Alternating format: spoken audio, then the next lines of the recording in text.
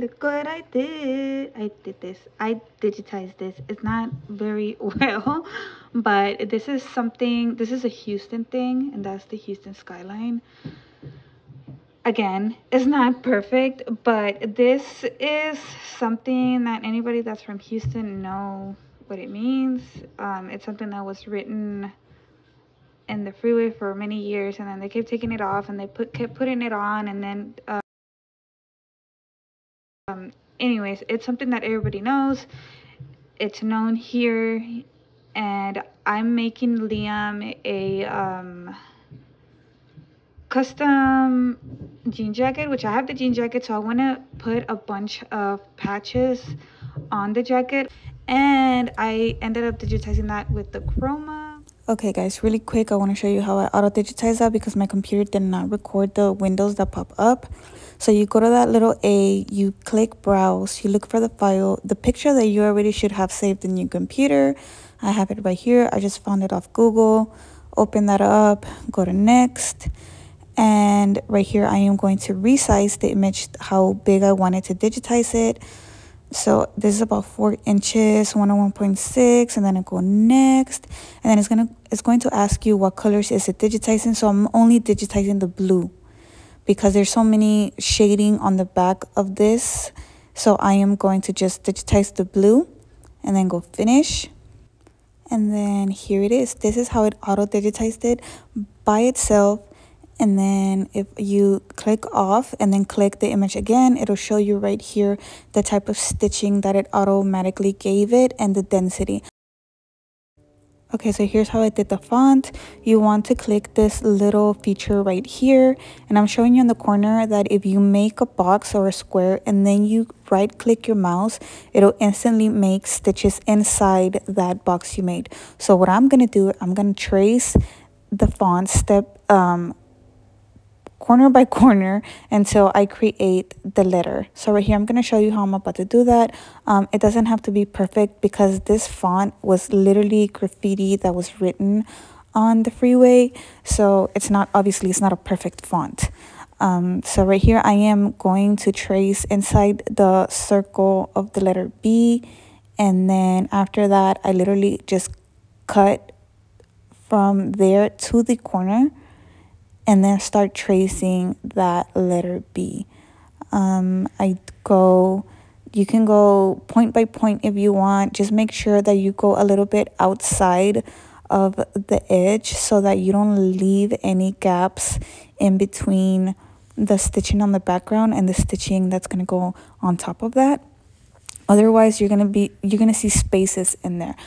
I'm not a digitizer. I don't know the first thing about digitizing, but this ended up working well for me rather than pay someone you know an arm and a leg to digitize this for me. And again because this is graffiti wall and, and and on the freeway it doesn't have to be perfect. But i thought maybe this is helpful for someone who is trying to digitize something simple. I have done this with logos that are super simple to digitize that are just straight lines or that it is not super complex. So it it it works. So you just want to go ahead and trace. And when you have are done tracing from one point to the other point to your end point you just click your you right click your mouse and it'll create stitches inside your um, square or figure that you made. And then from there you can choose what kind of stitching you want. So automatically right here it's giving me the tatami stitches but you can go ahead and change that. Right here i'm gonna drag out the letter e so you see how, how there it digitized it and right here on the corner I'm showing you the density. Again you can change it if you want. It automatically gave it that density that is showing you. You can play with it um, or you could change the stitches from tatami to satin or whatever type of stitches you want. Right there I changed it to satin as you can see. And honestly, I think it looks better the way that it automatically gave me the tatami one. So I'm going to change it back and then just press apply and it goes back to that. So I'm just going to show you these two letters. I think you get the, the, the idea. With the letter B, I only did one circle, um, but you saw how I did that. So pretty self-explanatory. It works for a lot of designs and, you know, I am grateful for the digitizers and I still pay for their services. But when there are very simple designs, I just throw them on Chroma and it works. It works. You save money. Chroma com comes with every embroidery machine that you purchase. So yeah, take advantage of that tool. If you did purchase your Ricoma with your embroidery machine with Ricoma because you have that program. Take advantage of it. It's great. Um, and yeah, that's how I did that. And the skyline, I just used that feature that I showed you in the beginning. You just throw it on there and it automatically just digitizes it for you. Again, it doesn't work with every single design. There are very difficult designs that it will try to digitize them, but they don't come out good. So you have to go in with all these little tools that you see on the left side but um I, I i don't know i don't know a lot about digitizing again so i hope this helps someone somewhere somehow. That's how i did it. Well, i'm gonna be using the ricoma. Should i use this one or should i use the other one? Do i have uh i don't have orange on this one. I wanted to use orange but it's okay i can swap the colors. I was i was gonna use this one because it has both the colors that i want but i have this one set up to the frame to the larger frame. So because i usually do hoodies on that one and then i do birthday shirts on this one and birthday shirts on this one but i'm just gonna use this one because i don't want to i don't feel like moving the framing around that one. So also i wanted to say all you guys that have ordered embroidery machines with my link which is down below if anybody is interested I want to say thank you. Um, that you have no obligation. You are free to not use my link if you don't want to. But if you do use it, they do give you a hundred dollars off if you use my link. That's more than that's more than half than of your first payment if you are financing. So just throwing that out there again you don't have to use it but for those of you that have purchased it um big, big thank you. You guys helped me out. Okay, so it should be my last design. There it is. I'm going to send it to the embroidery machine memory. Here's the embroidery machine memory. It should be the last one. There it is. Okay. And then it's going to ask me right here. I go to the thread combs to pick my color, which I'm going to change this one to orange or I'm just gonna leave it red I'm just gonna do a test stitch see see how well it digitized that. So I'm gonna pick four number four that's my that number the color of the number of the red thread Jesus. Okay and then I know that the second step is the letter so I'm gonna go with black. And there's only two steps. I'm gonna leave it at AA because I don't need the machine to stop. And then I'm gonna go to OK and then I'm gonna lock that in. I have my needle one selected right here. So wherever this lands on the embroidery hoop that's where it's gonna embroider around. Okay so here's where it's going to embroider. You can do a trace which is right here. You press trace and then it'll trace out which I already did that off camera. I'll show you again. So this is exactly where it's going to embroider. You always want to make sure that your design is not too close to the edge or anything like that because your needle your pressure foot coming down and if you hit your frame you can break your machine. Always make sure that it fits inside the hoop. You're not too close to the edges. By printing the design out you can see like when i have to do new, new designs that are quite like big i just make sure that at least the first time that i'm going to stitch this out that i print it and there's a little cross. You can't see it. It's right in his hair. Um, I just make sure that it's right at the center and that it's not going to get close to the edges or anything like that just to be extra safe. You only do that in the beginning when you're scared and then you gra- you get your confidence with the machine and you don't need to do that anymore. But um, just I like to say it every single video because it's such a shame if somebody spends a lot of money on these machines and then ends up breaking them for you know whatever reason. So i always say it in every video that when you're beginning when you're beginner when you're starting out print out your design just so you could get a feel of what your machine can fit in the hoops. And then after that you don't need to do that anymore but you know just just do it in the beginning at least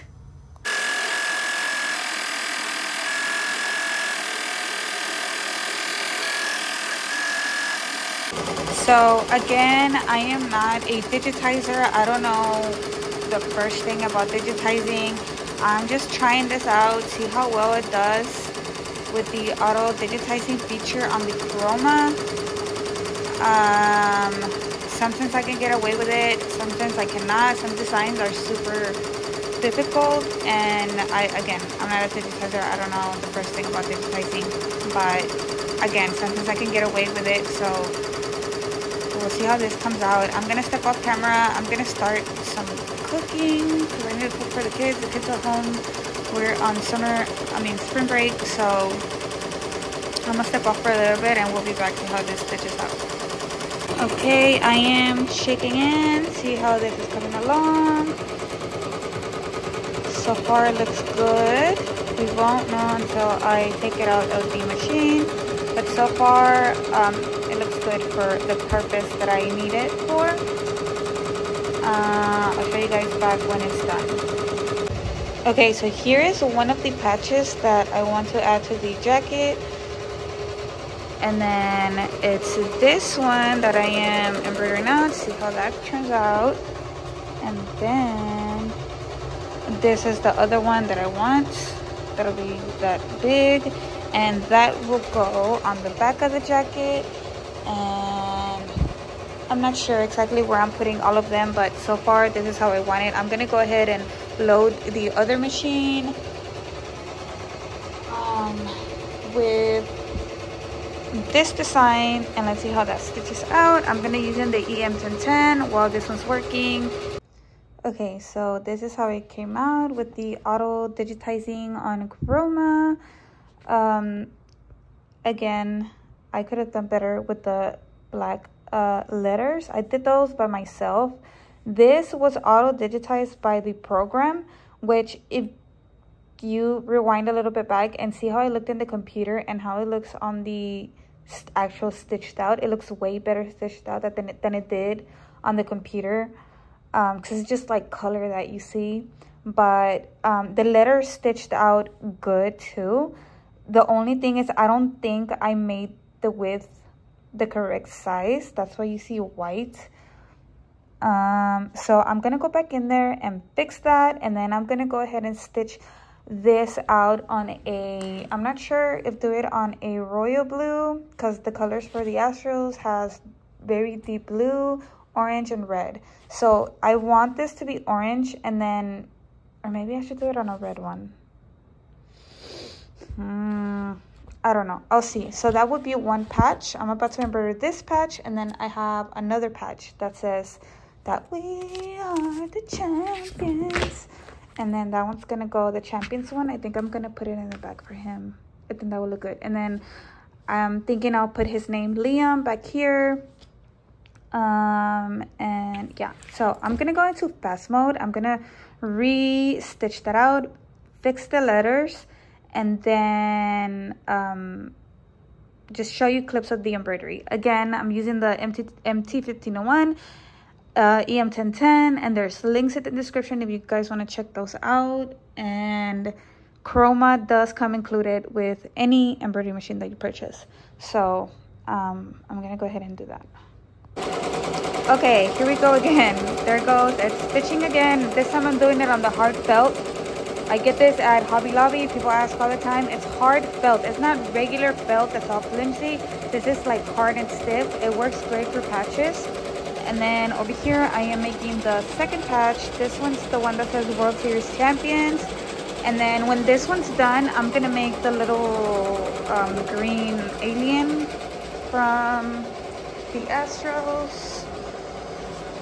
I don't know what I don't know if it's an alien or not, but that's the mascot for the Houston Astros. So I'm thinking this one's gonna go right here and then I don't know how I'm gonna decorate the rest, but uh, yep. It looks way better on the felt. And then for this one, I am I do have some of the candle thread over here. This is candle thread. It's super shiny. I have a link in the description if you guys want to try it. And then I have I'm gonna be using the metallic thread candle thread if you're watching make some metallic thread so I can buy some.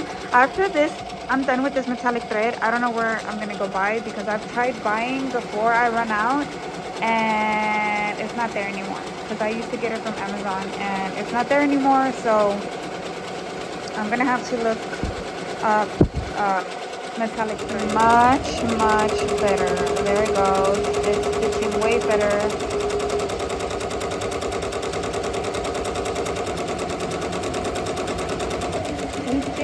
way better did it. It's gonna look awesome. I'll show you when it's done.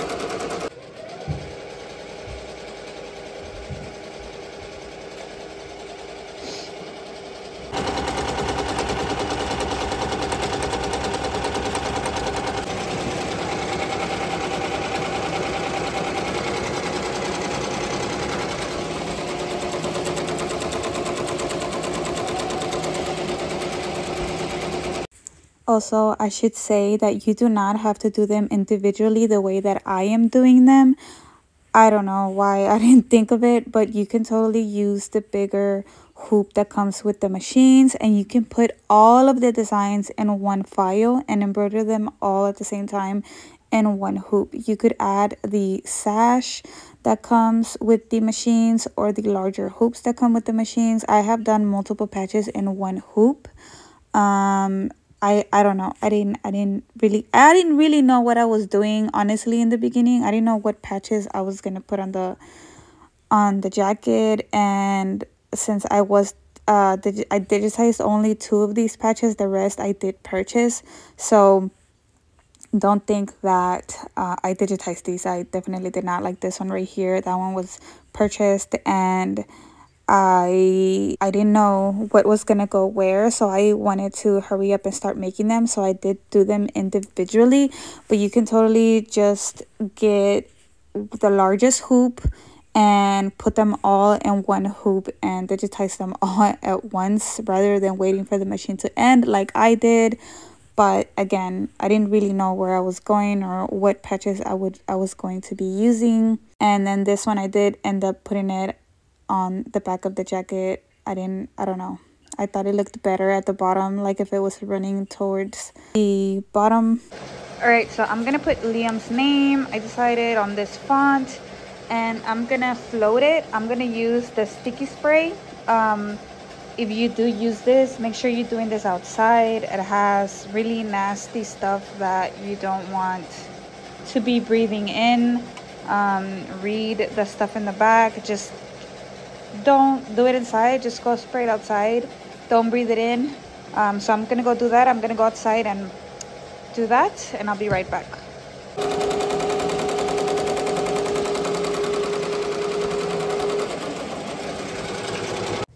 And I changed my mind one more time and I decided to redo the skyline the way I'm doing it now with the colors of the astros in the back and it looks like a sunset so I liked it better. So this is what I went for in the end.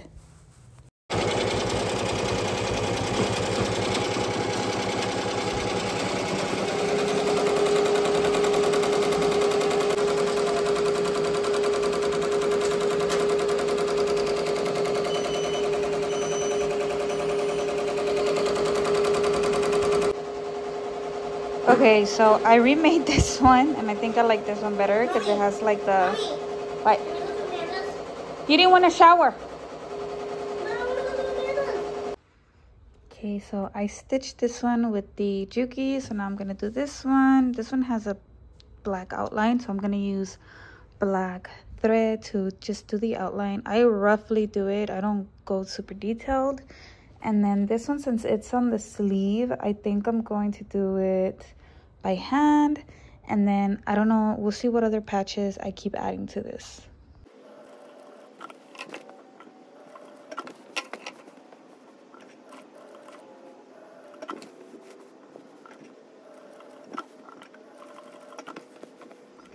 Okay so here's what we got so far. I did stitch this, these in and I was able to use the Juki on the sleeve because it's kind of up high. Um, honestly, like me, personal preference, I'm not a big fan of the name on the jackets. Just, that's just me. But he he most likely will end up taking this to school because we they do have like an Astros theme day at school where you wear your Astros gear. So obviously, I would make him take this. Um, so I did put the name because he loses every freaking jacket.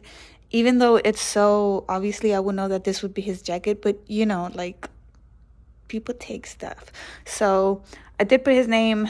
Um, probably could have went a little bit smaller, but anyways, I still want to do the front. This one I had said I was gonna put it in the front, but I ended up putting it back here and then he has the Be Someone on this on the side and i'm still not done with patches i'm gonna make more patches and then i want to put the space city in the front and then i don't know what else i'm gonna put but this is so far how it's going.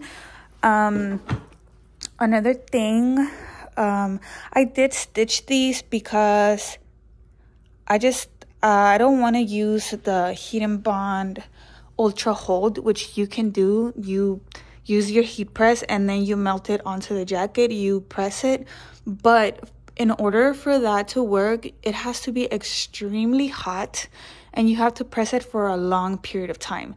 I don't want to create so much damage to the fabric to the jean jacket so i just stitched it. I feel like it, it it's it's better off anyways um with the washing and all that stuff.